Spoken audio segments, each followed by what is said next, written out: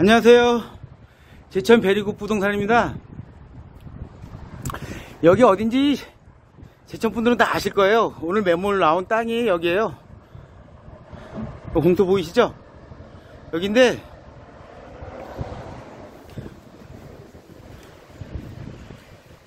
이쪽으로 보시면 여기 개천 있잖아요. 여기, 우로 쭉 올라가면 이제 배론성지 뭐 탁사장 이런 데 나오고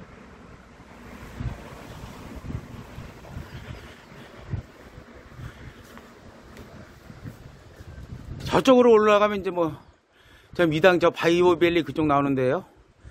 여기가 예전에 그 송석가든인가 뭔가 이따 망했잖아요. 그래 망하고, 저기 뭐야, 여기 뭐 무인텔 하나 들어오고, 땅이 너무 덩어리가 커가지고 안 나가고 있었어요. 제가 이제 여기를 내려가서 알려드릴게요.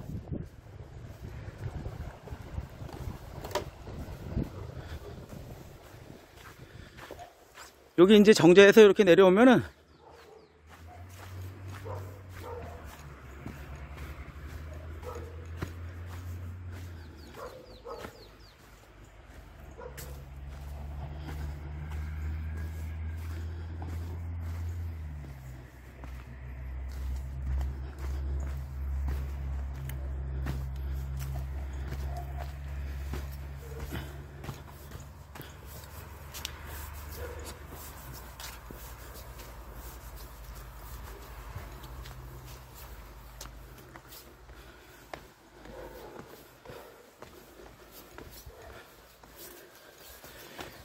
여기 예전에 가든할 때 참 좋았어요. 근데 맛이 없었어. 요 물이 이렇게 애들하고 물놀이 하기 좋아요. 저기도 저기 이제 명암저 수지에 그쪽에서부터 이제 내려오는 물이잖아요. 저기서 옛날에 우리 딸내미 국민학교 때 여기 가서 물놀이를 했는데 언 놈이 술 처먹고 소주병을 던져갖고 발을 베갖고 딸내미가 소주병에 놀지도 못하고 그냥 간 적이 있어요.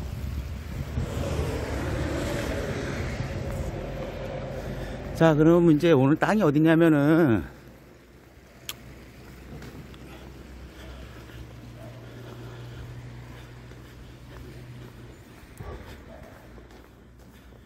그러니까 여기부터 돌멩이 보이죠? 이렇게 이쪽에 이제 풀만 막 있는 데 있어요. 이렇게 해서 이렇게 해서 국자 모양으로 생겼어요. 그러니까 경계는 여기서부터 시작이고요. 이게 국자 모양으로 생겼고 이 땅이 이제 잡종지고 근데 여기 이제 포장을 했는데 여기가 이제 지목이 대가 애매하게 생겼어. 그러니까 대충 여기 있는 데부터 여기부터 이렇게 저기 울타리까지인데 제가 걸어가는 식으로 이렇게 땅이 약간 뭐야? 찐빵? 약간 찐빵 모양으로 생겼죠? 여기 위에는 둥글고 밑에는 저기 천원 거 철조망 천원 거 이렇게 있으니까. 이렇게 해가지고 여기는 지목이 대예요.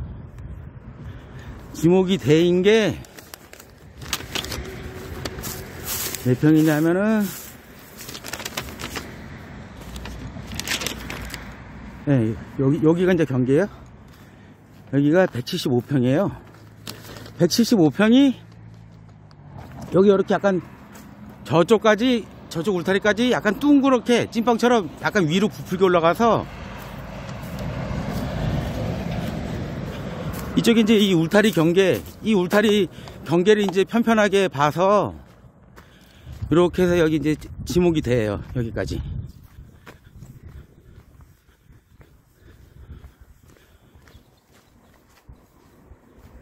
이렇게 여기 지목이 되고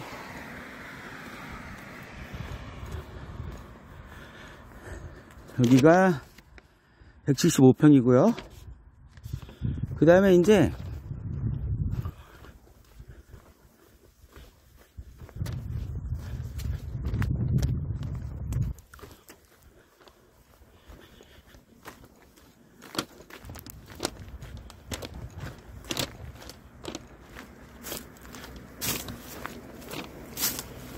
그러니까 여기서부터 이렇게 올라가요. 이렇게 똑바로.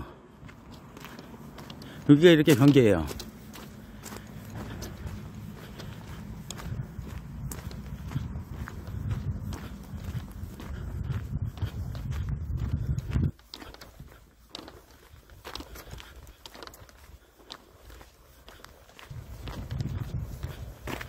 여기까지 와서 여기 이제 공구리 천원대 이렇게 쭉 올라가면은 저기 무인 무인 호텔 밑에 저기 석축산 났잖아요 저기가 경계예요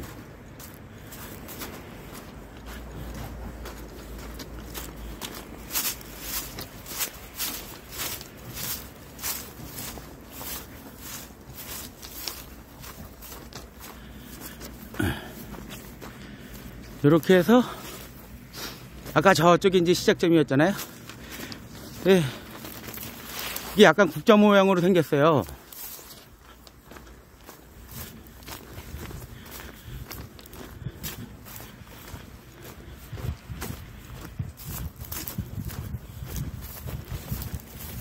이렇게 와서 저기 앞에 펜스 저기까지가 이제 네모나고 그다음에 여기 풀만 자란 거 있잖아요.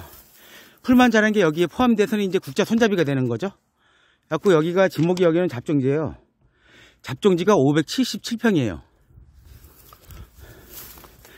여기 어딘지 다 아시잖아요, 제촌분들은.